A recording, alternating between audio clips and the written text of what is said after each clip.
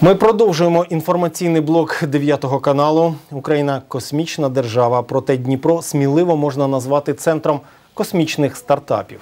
Тому й не дивно, нинішні майбутні підкорювачі космічного простору живуть серед нас. Про космічне практичне та соціальне поговоримо детальніше в актуальному інтерв'ю разом із Віктором Сербіним, директором компанії СЕЦ та Катериною Логіновою, керівницею проєкту Art Rocket Park від ноосфери. Мої вам вітання у нашій студії. Добрий день. І усім, хто має причетність до 12 квітня як свята, усіх вітаю з цим святом. Спасибо. Е, Спочатку про науку пропоную, і більше запитань буде, Вікторе, саме до вас. Перед тим як займатися космічним електричними двигунами, ви пропрацювали в міжнародному проєкті Морський старт. Так? Да, было. В чому около- була унікальність?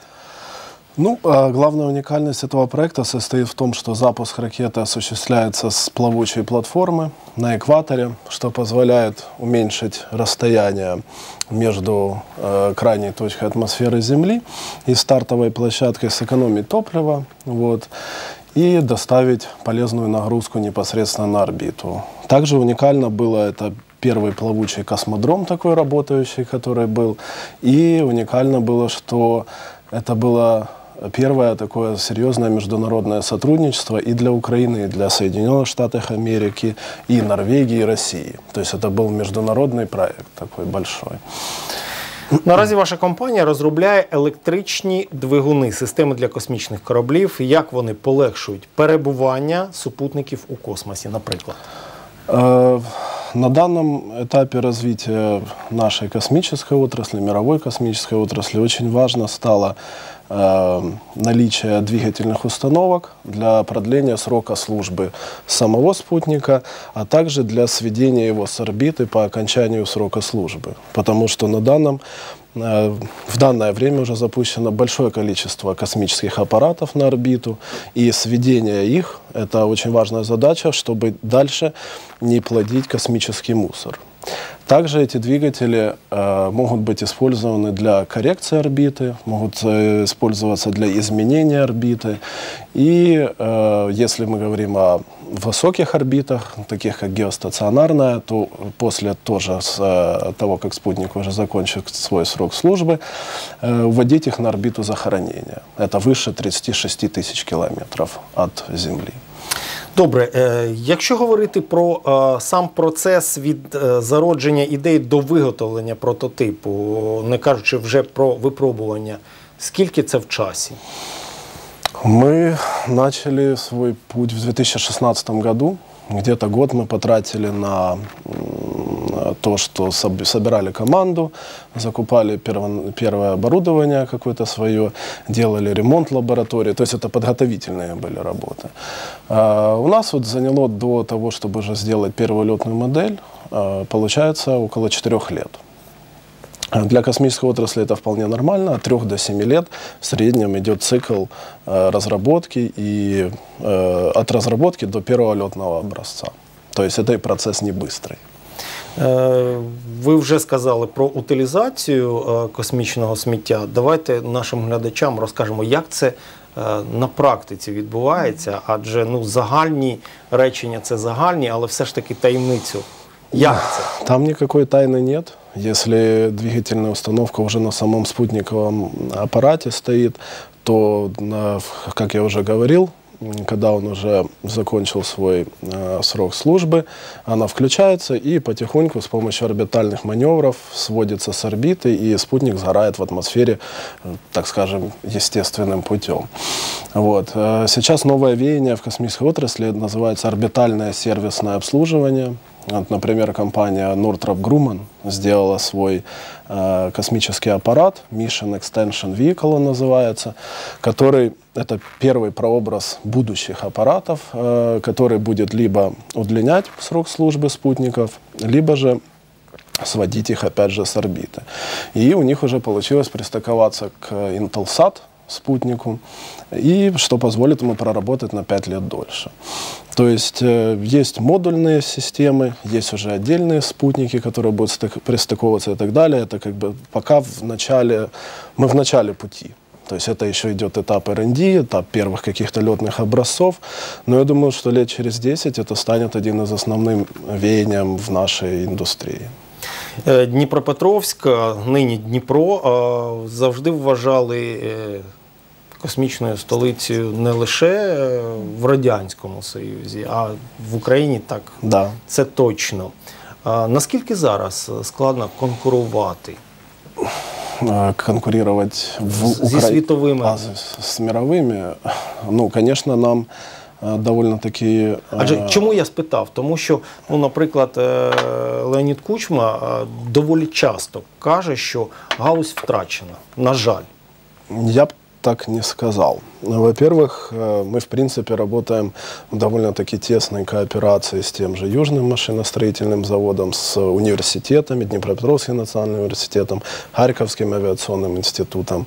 Э, Вот э, если взять, вот, допустим, мой проект, да, то там у нас работают процентов 70 это студенты, которые выпускники нашего там вуза, да, вот, которые проходили практику там, на КБ Южном, Южмаше и так далее. Поэтому у нас еще есть тот задел, который э, нужно сохранить и приумножить. И как Днепр и был космической столицей Украины, так он и остается. И вокруг нашего города, вокруг наших предприятий, государственных либо частных, как вот появляется уже, надо строить уже какую-то свою экосистему, которая позволит нам уже выходить на мировые рынки и быть там конкурентоспособными. Е, Пропоную знову повернутися до теми е, ваших двигунів. двигунів. Наскільки я знаю, ви мали б випробувати їх у 2021 році. році. Це вже сталося, чи це ще в Е, майбутньому? К сожалению, мы чуть-чуть сместились по графику. Я надеюсь, что первый запуск будет осуществлен во втором где-то квартале 2021 года и второй в третьем-четвертом квартале 2021 года, где-то так. В чому складності? Фінансуванні чи щось Нет, інше? с финансированием у нас все хорошо. Были э, сложности непосредственно с э, интеграцией данных систем, потому что это все-таки наш первый опыт. вот. И были э, некоторые задержки, что с нашей стороны, что со стороны заказчика, появлялись какие-то новые требования. И так как это все-таки первый э, наш продукт, первая наша летная модель, хочется исключить ну, практически все возможность, э, возможные неполадки, которые могут быть. Поэтому мы дважды лучше перестрахуемся, немного отложим, чем мы запустим, и оно, не дай бог, там не заработает. Ви вже сказали про молодь. Е, Чи як потрібно її заохочувати, і хто саме зараз до вас приходить працювати? Ну, у нас, как я уже говорил, выпускники вузов. Вот. Э, Очень важно, что э, мы работаем вместе. Максим Поляков является инвестором, и фонд Nossphere Ventures является инвестором для нашей компании, для группы компаний, которая входит в портфолио Nossphere Ventures. Э, Мы проводим ряд э, очень интересных э, мероприятий по типу вот конкурсов Star Trek и так далее, которые вокруг себя собирают довольно-таки много энтузиастов.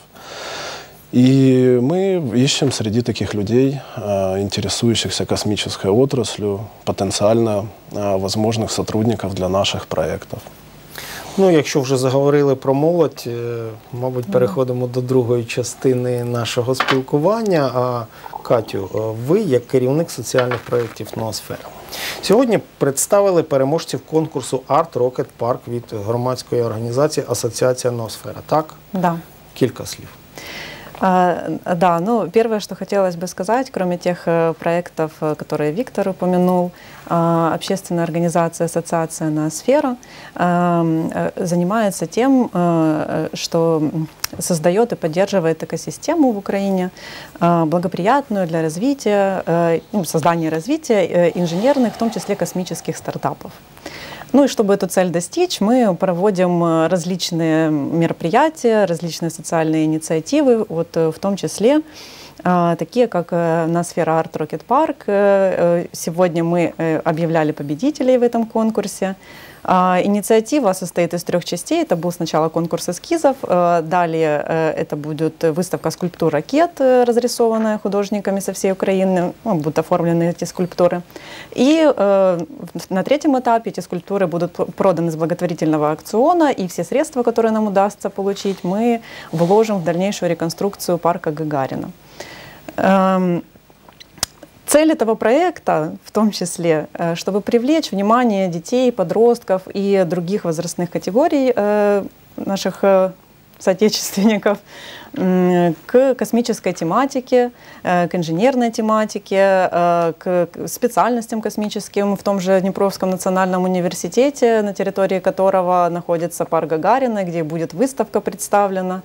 А, таким образом э, подтолкнуть детей и подростков э, поступать на эти специальности э, и поддержать и приумножить, как сказал Виктор, нашу космическую отрасль в том числе. Мы сегодня объявили 12 победителей конкурса эскизов, но это, на этом не закончилось. Наш идейный вдохновитель проекта и создатель организации общественная организация Ассоциация Ноосфера Макс Поляков э, сегодня там сделал такой сюрприз э, и выбрал дополнительно 8 победителей э, в этом конкурсе. То есть будет 8 дополнительных ракет. Ну, мы так видим эту восьмерку как знак бесконечности, необъятный космос и бесконечность таланта наших украинских художников. Ну, вот таким вот образом решили поддержать и еще больше взять работ. Но на самом деле следует сказать, что все работы были очень крутые. Э, там э, мы просили представить именно дизайны скульптур, и, и конкурс удался, потому что дизайны э, очень разнообразные, Э, художники с разных регионов, различные техники, традиционные, нетрадиционные техники э, и, и разные идеи декорирования ракет, в том числе зеркалами, гравировка, там, венки из цветов. Э, ну, кто как видит, кто как видит вот эту скульптуру, как же ее нужно оформить, чтобы привлечь внимание детей и населения Украины вот к такой тематике. Якщо говорити про кількість заявок, скільки їх взагалі надійшло, чи як відбувався відсів и таке інше? А, ну, было более 400 э, работ. Тут стоит отметить, что участниками конкурса были взрослые совершеннолетние художники. То есть должно было быть 18 э, лет минимум э, участникам. А, и отсев дался очень э, тяжело. Мы выбирали совместно с членами жюри. У нас были отобраны, было набрано уважаемое жюри, уже состоявшиеся тоже художники. И вот вместе с ними мы выбирали работы. Ну, было сложно, правда сложно, потому что, несмотря на то, что мы только 20 оставили, достойных там намного больше работы. И хотелось бы, конечно, э, уважить участников и сказать им большое спасибо за такие идеи идеи э, и такое видение творческое, ну, очень, очень, очень нас впечатлило, очень интересно. Якщо говорити про територію парку, чи вистачить е, взагалі самого парку під всі ваші ініціативи? Мы уверены, что да. Тем более, что, как я сказала, как я сказала ранее, э, эти скульптуры осенью будут проданы с аукциона. Средства мы потратим на дальнейшую реконструкцию парка, то есть ее станет больше, эта территория облагороженной. Э, и э, планируем так, что парк будет площадкой для творческой и проактивной молодежи, чтобы они там могли себя как-то реализовывать и, и показывать. Да, и вот хочу дополнительно еще добавить, говорила о том, что мы в двух конкурсах сегодня объявляем победителей. Мы, конечно же, не могли оставить неуделы детей, э, и поэтому э, параллельно для них проходил конкурс детских рисунков на космическую тематику. Э, тема конкурса в этом году, это уже не первый год проходит, была 30 лет космической независимости Украины. Мы попросили деток показать, как они видят космос прошлого, настоящего и будущего, именно украинский космос. Фантазия детей впечатляет неимоверно. Э, мы получили около 15 тысяч работ конкурсных со всех областей Украины. Э, посчитали, так интересно нам было, дети нарисовали на своих работах более 8 тысяч украинских флагов. Э, И что касается будущего Украины, космического будущего Украины, э, в основном дети рисуют то, как мы будем колонизировать планеты, как мы будем заселять их. Э, Там обязательно будут, обязательно будут украинцы, потому что все эти планеты помечены украинскими флагами. Э, Вот э, так они видят э, будущее, э, будущее этой отрасли. Знаєте, у не нас можу країні. не спитати. Ну, ваша організація, скажімо так, не залишає дітям іншого вибору, е, крім е, цікавості космосу. Це я так жартую. Чи все ж таки є якісь е, ще напрями розвитку, чим окрім космосу зацікавити е, молодь? А, Ну, мы все-таки более так э, направляем все свои действия на вот развитие инженерное и космическое, ну, инженерное и космическое развитие да, э, детей. И вот э, там в инженерном мы проводим еще различные соревнования по робототехнике. У нас там фестиваль большой Бестробофест был. На прошлом году мы проводили впервые в Украине соревнования на сфера Engineering Race. Это были соревнования по робототехнике на основе конструктора VEX. Это американский конструктор VEX. Он, в принципе, в Украине, он для Украины совершенно новый. Э, Участники его впервые увидели, э, но мы вот эти вот навыки конструирования детей прививаем самого, самого маленького, их интерес к этому, чтобы в будущем они потом создали роботов и, э, и были способными там, придумывать какие-то инновации, которые будут впереди планеты всей. Кілька хвилин у нас залишилося на спілкування. Е, Загальне питання до вас обох. Е, Майбутні Єангелі Уткіни. Чи бачите ви вже серед, е, можливо, колег, з якими працюєте, якщо про молодь, то з задатками, чи є такі? Ну, конечно, есть. Э, Я, я в это верю. Э, Мы, вот могу добавить еще, что в конце апреля у нас состоится финал э, конкурса инженерных стартапов «Вернадский челлендж». Э, Это будет, э, конкурс пройдет э, частью выставки «Авиасвит», это международный авиакосмический салон в Киеве. Э, И мы в этот конкурс, в этот, в этот конкурс люди подавали свои идеи и стартапы в двух направлениях. Это кос- космическая отрасль и активная биоэлектроника. Ну вот, собственно, на финале состоится, так, э, э, так сказать, не батлы, а ну, презентации э, проектов этих стартапов, вот как раз-таки на космическую тематику, современности, вот что они придумали, как они это видят. И мы проводим не первый год и видим очень много потенциально сильных ребят, и они потом э, продолжают э, в этом направлении двигаться. Мы видим их успехи, они идут все дальше, дальше и дальше. Э, Среди этих финалистов, кстати, будут представлены не только Украина, э, там 10 э, финалистов, из них Украина только 5, остальные из других стран, поэтому приглашаем присоединиться к онлайн-трансляции, посмотреть, э, какие же стартапы сейчас в сфере космоса представляют в этом году. Вікторе, у вас є можливість е, усіх колег привітати зі святом. Да, действительно, хочется поздравить э, всех людей, причастных э, к этому нелегкому на самом деле делу, потому что э, сколько нервов, споров, сил было потрачено для того, чтобы создать первый ракетный двигатель, первый плазменный двигатель, первую ракету, спутник и так далее. сколько тысяч умов э, к этому имели отношение, и каждый внес какую-то свою лепту.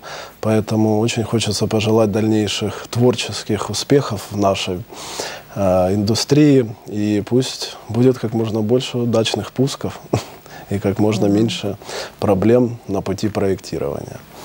Дякую вам, що знайшли змогу і у святковий день завітали до нас у гості. Ну і бажаю успіхів у всіх ваших справах І починаннях. Спасибо большое.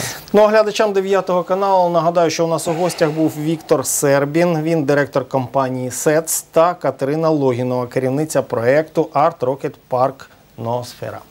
Дякую всім за увагу. Пильнуйте себе і хай вам щастить.